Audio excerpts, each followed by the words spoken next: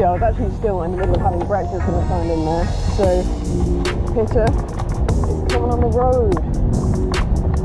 Mm.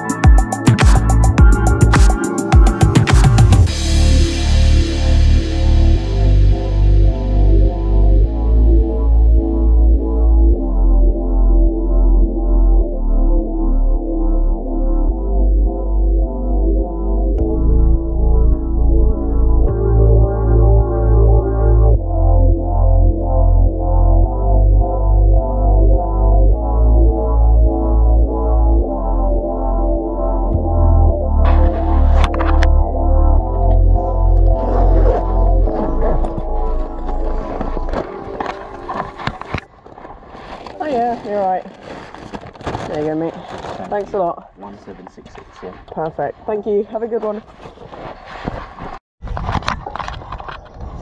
Cool. So I just dropped off that first McDonald's delivery. Um, wow, 553. That's decent, know i'm going to show you this. I don't know if you can see the screening tool, but £5.53 for 2.2 miles. Most of it's downhill the whole way as well, so I'm not complaining about that. Um, so yeah, we're gonna go on with Deliveroo now as well. Pull over. Don't know if you can still see that, but Deliveroo is still not busy. Shock. We're gonna go online anyway just to see if anything does come our way, but yeah, it's just been so dead at the moment, it's ridiculous. I was really surprised when I logged in and got an order straight away on Uber. But yeah, let's just see what else we get.